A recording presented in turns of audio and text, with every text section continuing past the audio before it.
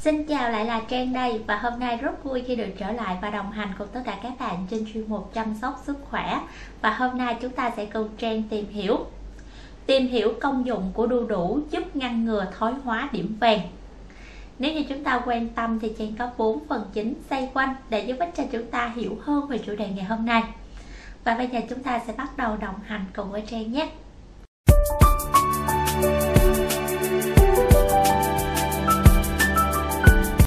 Phần đầu tiên, thành phần dinh dưỡng của quả đu đủ.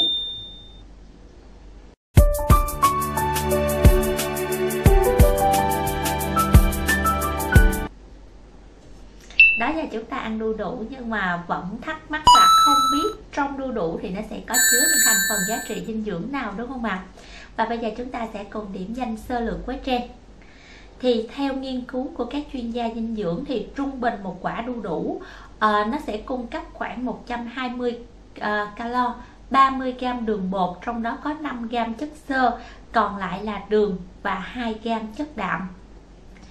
Bên cạnh đó thì đu đủ cũng cung cấp một cái lượng uh, vitamin và các chất khoáng dồi dào. Điển hình như là vitamin A, vitamin B, vitamin C, vitamin E, vitamin K, folate, magie, axit pantothenic vân vân thì ngoài ra cái loại quả này nó còn cung cấp alpha caroten, beta caroten, glutein, zeaxanthin, lycopene và một vài những cái khoáng chất chống oxy hóa rất là mạnh mẽ, giảm viêm, chống lại bệnh tật và ngăn ngừa nếp nhăn thì ở đây chúng ta đang nói về đu đủ chính đó các bạn ha. Thì nó sẽ đạt được những cái giá trị dinh dưỡng tuyệt vời này cho sức khỏe. Thì đó là những cái à, thành phần dinh dưỡng điển hình có trong quả đu đủ chính và bây giờ chúng ta sẽ bước sang phần thứ hai. Ăn đu đủ chính thì có tác dụng gì?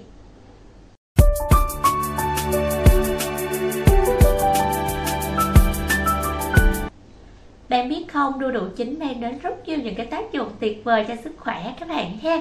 Cùng điểm danh với trang nào? Đầu tiên, ngăn ngừa các bệnh về mắt. Zeaxanthin là một chất chống oxy hóa có trong thịt quả của đu đủ chính. Nó giúp lọc các tia sáng à, ờ, có hại nè và bảo vệ các tế bào võng mạc, bảo vệ sức khỏe của mắt và ngăn ngừa thói hóa điểm vàng liên quan đến tuổi tác. Ngoài ra đu đủ còn chứa một cái lượng lớn là các dưỡng chất cần thiết như là vitamin C, vitamin E, caroten, lutein thì nó giúp bảo vệ mắt và ngăn ngừa các vấn đề về mắt. Cho nên là đu đủ chính là một trong những cái loại quả rất là tuyệt vời và rất có lợi cho đôi mắt các bạn ha. Tác dụng thứ hai, tăng cường chức năng máu thì vitamin C có trong quả đu đủ đó là nguồn chất chống oxy hóa mạnh mẽ và nó có thể tăng cường cái khả năng miễn dịch cũng như là khả năng hấp thụ sắt vào bên trong cơ thể vitamin C giúp cung cấp điều kiện thuận lợi cho cái quá trình hình thành nè và duy trì tế bào máu, bao gồm tế bào hồng cầu và tế bào bạch cầu. Ngoài ra thì đu đủ chính cũng là một trong những cái nguồn rất là giàu sắt một khoáng chất quan trọng trong việc là tạo ra hồng cầu, chịu trách nhiệm vận chuyển oxy đến các cơ quan và mô trong cơ thể việc tiêu thụ đủ á, thì nó sẽ giúp cho bạn cung cấp đủ cái lượng sắt cho cơ thể và tăng cường cái chức năng máu. Thì đủ cung cấp folate một dạng của vitamin B9 thì cần thiết cho cái quá trình hình thành tế bào máu mới. Folate nó đóng một vai trò rất quan trọng trong việc sản xuất DNA và RNA nó làm tăng cái số lượng tế bào hồng cầu và giúp duy trì chức năng của máu các bạn ha. Thì lý giải là tại sao đu đủ lại tốt cho cái khả năng tuần hoàn lưu thông máu hay là tốt cho máu thì à, chúng ta vừa tìm hiểu cùng với trang đó. Tác dụng thứ ba cải thiện sức khỏe hệ miễn dịch. Đu đủ là một trong những cái nguồn cung cấp rất dồi dào vitamin C và vitamin C cũng là một trong những cái chất chống oxy hóa rất là mạnh mẽ nó giúp tăng cường hoạt động của hệ miễn dịch nè bằng cách là nó sẽ kích thích sản xuất và hoạt động của các tế bào miễn dịch bao gồm việc tăng cường cái khả năng tiêu diệt vi khuẩn, virus và tế bào ung thư. ngoài ra thì đu đủ cũng cần chứa rất nhiều những cái hợp chất chống vi khuẩn um, và chống virus có nghĩa là những cái hợp chất này có lợi cho sức khỏe như là glycopen, beta carotene, quercetin. Thì những chất này có khả năng là giúp ngăn chặn sự phát triển của vi khuẩn và virus trong cơ thể. Nó làm giảm nguy cơ mắc các bệnh lý về nhiễm trùng. Từ đó thì nó cũng nâng cao cái sức đề kháng cho chúng ta. Tác dụng tiếp theo thứ tư tốt cho hệ tim mạch hàm lượng chất xơ trong đu đủ đó, nó có thể làm tăng giảm cái mức cholesterol xấu LDL trong máu của chúng ta, ngăn chặn sự hình thành những cái mảng bám trong động mạch và giảm nguy cơ những vấn đề gặp về tim mạch. Ngoài ra thì chất xơ còn giúp điều chỉnh cái lượng đường huyết nữa, giảm nguy cơ bệnh lý đái tháo đường và bảo vệ sức khỏe tim mạch. Ở đây là giảm nguy cơ chứ không phải là điều trị, cho nên chúng ta cần lưu ý nhé thì để cung cấp một cái lượng kali đáng kể thì kali là một chất khoáng quan trọng trong việc điều hòa nhịp tim. Nó giúp cho chúng ta duy trì huyết áp ổn định hơn. À, ngoài ra thì nó cũng giúp cho bạn giảm căng thẳng ở mạch máu nè làm giãn các mạch máu và tăng lưu thông máu trong cơ thể. Điều này nó có thể giúp là giảm nguy cơ gặp những cái vấn đề về tim mạch hay là đột quỵ. Cho nên nó sẽ rất tốt cho sức khỏe tim mạch của chúng ta tác dụng thứ năm giúp giảm viêm bạn biết không trong đu đủ nó có chứa enzyme papain hoạt động như là một cái loại thuốc giảm đau tự nhiên vậy đó. Thì enzyme này nó làm tăng sản xuất cytokine của cơ thể giúp điều chỉnh cái tình trạng viêm. Có thể làm giảm đau do viêm khớp nè các tình trạng đau uh, viêm do tương tự gây nên thì cái hàm lượng colin được tìm thấy trong đu đủ cũng củng cố được cái con đường à, ghi nhớ và phát triển cơ bắp giúp duy trì cấu trúc của màng tế bào hỗ trợ xung à, thần kinh hấp thụ chất béo và giảm viêm mãn tính. Tiếp theo tác dụng thứ sáu ngăn ngừa lão hóa. Thì trong đu đủ một số những cái chất chống oxy hóa như là vitamin C, vitamin E, beta carotene thì chúng giúp cho chúng ta là bảo vệ cơ thể khỏi sự tác động của các gốc tự do. Là những cái phân tử không ổn định đó các bạn ha có thể gây hại hoặc là gây tổn hại đến những cái tế bào à, và nó góp phần vào cái quá trình lão hóa trong cơ thể. Thì những cái chất chống oxy hóa này có khả năng ngăn chặn sự tổn thương do những cái gốc tự do gây ra và nó giữ cho chúng ta có một cái làn da khỏe mạnh.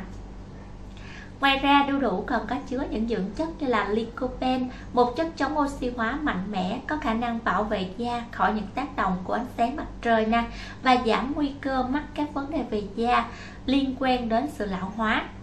Nói như vậy không phải là chúng ta ăn đu đủ chín rồi chúng ta đi ra nắng không cần bảo vệ da các bạn ha.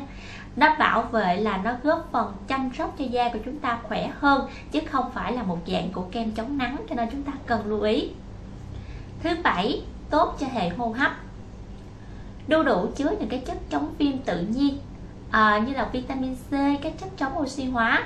Thì những chất này có khả năng làm giảm viêm nhiễm trong cái hệ thống hô hấp của chúng ta. Ngoài ra thì nó còn làm dịu những cái triệu chứng của bệnh lý đường hô hấp như là viêm phế quản hay là viêm phổi. Tác dụng thứ 8 ngăn ngừa hen suyễn. Beta carotene một dạng của vitamin A có trong đu đủ chính, có thể giúp cho bạn giảm nguy cơ mắc các vấn đề về bệnh lý hen suyễn. Có nghĩa là nó giảm đi các bạn hen, chứ không là thay thế thuốc điều trị hen mà các bạn đang sử dụng đâu. Cho nên là chúng ta cần lưu ý và cân nhắc để chúng ta sử dụng tốt hơn beta carotene được chuyển hóa thành vitamin A trong cơ thể và vitamin A đóng một vai trò rất quan trọng trong việc duy trì sức khỏe cho phổi và hệ miễn dịch thì chúng giúp tăng cường cái chức năng miễn dịch làm giảm viêm nhiễm và bảo vệ phổi khỏi tổn thương. Tác dụng thứ 9 hỗ trợ làm lành các vết thương ngoài da. Enzyme proteoglycid uh, à, chimopapain và papain chính là những cái hoạt chất có tác dụng là phân hủy các tế bào chết và kích thích cái quá trình tái tạo tế bào mới, giúp làm lành vết thương một cách nhanh chóng. Bên cạnh đó thì các chất chống viêm và chống oxy hóa có trong đu đủ đó cũng giúp cho bạn giảm viêm nè, bảo vệ da khỏi những cái tác động của các gốc tự do. Nhờ đó mà đu đủ được tăng cường cái quá trình làm lành vết thương khi mà các bạn sử dụng tác dụng thứ 10 tốt cho da và tóc Vitamin A chứa trong đu đủ là một trong những cái chất dinh dưỡng cần thiết cho cái quá trình sản xuất bã nhờn, giữ ẩm cho mái tóc. Vitamin A cũng cần thiết cho sự phát triển của các mô cơ bao gồm cả da và tóc. Ngoài ra thì cái lượng vitamin C dồi dào trong quả đu đủ còn cung cấp cái uh, vitamin cần thiết cho việc duy trì cái lượng collagen xây dựng cấu trúc làn da khỏe mạnh hơn. Tác dụng thứ 11 Hỗ trợ tiêu hóa Một nghiên cứu đã chỉ ra rằng đu đủ góp phần vào quá trình duy trì sinh lý đường hô đường tiêu hóa của chúng ta để cải thiện những cái rối loạn chức năng như là đầy hơi, táo bón, vân vân. Thêm nữa, enzyme papain có trong đu đủ đó nó sẽ giúp cho thịt là mềm hơn, hỗ trợ tiêu hóa và cái nhu động ruột của chúng ta nó sẽ hoạt động một cách bình thường hơn. Tác dụng thứ 12 giúp giảm cân. Đu đủ có chứa cái lượng calo thấp. Điều này có nghĩa là bạn có thể thưởng thức đu đủ mà không lo tăng cân. À, Và trong cái quá trình kiểm soát cân nặng của mình Nếu như bạn yêu thích đu đủ thì bạn có thể sử dụng bạn ha thì cái lượng calo bạn nạp vào nó sẽ ít hơn so với cái lượng calo bạn tiêu thụ hàng ngày. Thì đu đủ chứa nhiều chất xơ, đặc biệt là chất xơ không hòa tan. Thì chất xơ này nó sẽ giúp cho bạn cảm thấy no lâu hơn và giữ cho bạn một cái cảm giác là no trong một cái khoảng thời gian dài hơn. Điều này giúp cho bạn kiểm soát được cái cảm giác thèm ăn và giảm đi cái việc mà chúng ta ăn quá nhiều tác dụng thứ 13 hỗ trợ điều trị bệnh lý đái tháo đường. Đu đủ có tác dụng hạ đường huyết đối với những người uh, à, có cái tiền sử về đái tháo đường các bạn ha. Nhờ vào cái chất flavonoid chống oxy hóa tự nhiên được tìm thấy nó sẽ hỗ trợ điều chỉnh cái lượng đường trong máu. Ngoài ra đu đủ cũng chứa cái lượng đường thấp nè nó giúp giải phóng cái lượng đường tự nhiên một cách từ từ mà không làm tăng cái hàm lượng đường huyết trong cơ thể. Nó thích hợp sử dụng cho những người đái tháo đường. Nhưng không phải vì vậy mà chúng ta ăn nhiều. Nếu như bạn ăn nhiều thì nó cũng làm tăng đường huyết đó, cho nên là chúng ta phải kiểm soát ở một cái lượng sử dụng phù hợp nhất. Tác dụng thứ 14 giảm nguy cơ mắc Alzheimer bởi vì đu đủ là nguồn cung cấp rất là dồi dào các chất chống oxy hóa vitamin C, beta carotene vân vân. Thì các chất chống oxy hóa này nó sẽ giúp bảo vệ những tế bào não khỏi những cái tổn thương do những cái gốc tự do gây nên là một trong những cái nguyên nhân tiềm ẩn của bệnh lý Alzheimer. Ngoài ra các chất chống viêm trong đu đủ còn có khả năng giảm những cái phản ứng viêm nè làm dịu đi những cái triệu chứng của bệnh lý Alzheimer các bạn ha. Tác dụng thứ 15 Ngăn ngừa ung thư. Đu đủ có chứa các enzyme tiêu hóa tự nhiên như là papain và trimopapain thì các enzyme này nó sẽ có khả năng tiêu hóa cái lớp màng protein bao quanh tế bào ung thư, hỗ trợ cơ thể chúng ta tiêu diệt những tế bào ung thư thì các hợp chất chống oxy hóa có trong đu đủ, đặc biệt là lycopene, nó có thể ức chế sự phát triển của các tế bào ung thư phú và ung thư gan nhưng mà khi bị ung thư thì nên điều trị theo đúng phác đồ của bác sĩ. Đu đủ chính là một trong những cái thực phẩm kèm theo trong cái bữa ăn đầy dinh dưỡng của các bạn. Tác dụng thứ 16 giúp xương chắc khỏe hơn. Khi mà chúng ta ăn đu đủ á cơ thể nó sẽ cung cấp được cái lượng vitamin K từ thực phẩm này.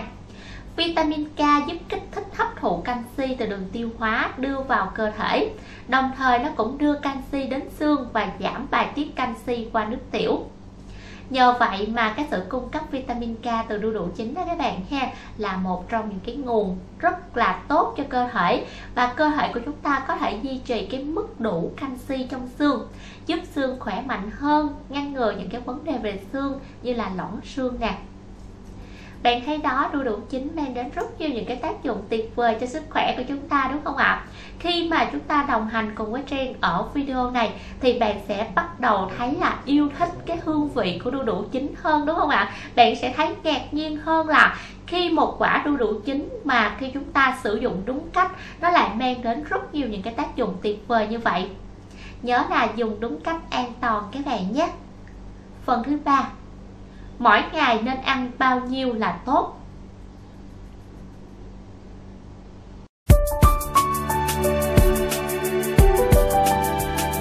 Thì đu đủ cung cấp tương đối nhiều năng lượng các bạn ha 100g đu đủ chín á, nó sẽ cung cấp khoảng từ 44 đến 55 kcal đường là chiếm 12,8% do đó có những người đường huyết cao thì khuyên là nên hạn chế sử dụng và nên dùng một cách kiểm soát. Nếu ăn hàng ngày 100g đu đủ chín trong nhiều tháng thì cái phần da lòng bàn tay bàn chân nó sẽ bị vàng. À, là do một vài những cái loại carotenoid có trong đu đủ đó các bạn hay nó đào thải chậm cho nên nó gây vàng da. Nếu như mà chúng ta ngưng ăn vài tháng thì cái hiện tượng vàng da này sẽ tự hết cho nên à, tốt nhất khi mà bạn sử dụng đu đủ chín đó thì một tuần bạn nên ăn từ 1 đến 3 lần thôi. Một lần ăn một miếng khoảng là từ 50 đến 100 gram thôi các bạn ha. Thì chúng ta nhớ là bạn nên ăn mỗi tuần từ 1 đến 3 lần. Một lần sử dụng từ 50 đến 100 gram đu đủ chín là được. Ngoài ra nếu cho bạn ăn quá nhiều nó có thể gây tiêu chảy, đau bụng, phân lỏng hoặc các vấn đề về dạ dày. Khi mà chúng ta ăn đu đủ thì chúng ta nên cân nhắc các bạn ha. À, Trong các khoảng từ 50 đến 100 gram đó bạn có thể cắt nhỏ ra. Chúng ta ăn kèm ờ, sau mỗi cái bữa ăn Hoặc là bạn ăn tráng miệng nè hoặc là những cái bữa ăn phụ Thì bạn sử dụng vào bất kỳ cái thời điểm nào cũng được các bạn ha à, nó không có cái sự quy định cụ thể là nên ăn giờ nào. Cho nên là bạn à, không khóa cứng nhắc trong cái việc là sử dụng đu đủ chính đưa vào cái khẩu phần ăn của mình. Nhưng mà các bạn muốn uh, chia sẻ về cái thời điểm tốt thì trang cũng có thể chia sẻ một vài. Như là bạn có thể ăn vào bữa sáng thì trước đó 30 phút thì bạn dùng một cái ly sữa hạt hạnh nhân nè hoặc một ly sữa bột yến mạch đó hoặc là ngũ cốc cũng được để đảm bảo năng lượng cho cả ngày thì chúng ta có thể sử dụng vào buổi sáng trước 30 phút. Rồi sau đó bạn nhớ ăn sáng các bạn nhé. Ngoài ra bạn cũng có thể ăn vào bữa trưa. Thì bạn có thể ăn cơm cùng với à, món trái cây này cũng được các bạn ha. Hoặc là bạn ăn sau bữa ăn trưa 30 phút thì à, bạn cũng à, có thể sử dụng được đu đủ chín ăn vào bữa tối sau bữa tối bạn có thể uống một ly sinh tố đu đủ cùng với cần tây, hành tây và nước cốt chanh hoặc là chúng ta ăn tráng miệng cùng với đu đủ thôi cũng được các bạn nhé. Tuyệt đối không nên ăn hạt đu đủ các bạn he vì nó có chứa độc tố cạc pin nó làm rối loạn nhịp tim nè và nó suy nhược hệ thống thần kinh cho nên ở đây trang chia sẻ là về thịt của đu đủ chín đó. Cho nên là khi mà chúng ta sử dụng thì chúng ta cần lưu ý và cân nhắc. Nói chung là bạn có thể sử dụng vào bất kỳ thời điểm nào trong một ngày. Và nhớ là đừng ăn quá 100g trên một ngày là được các bạn nhé. Phần thứ tư, cần lưu ý những gì khi ăn đu đủ.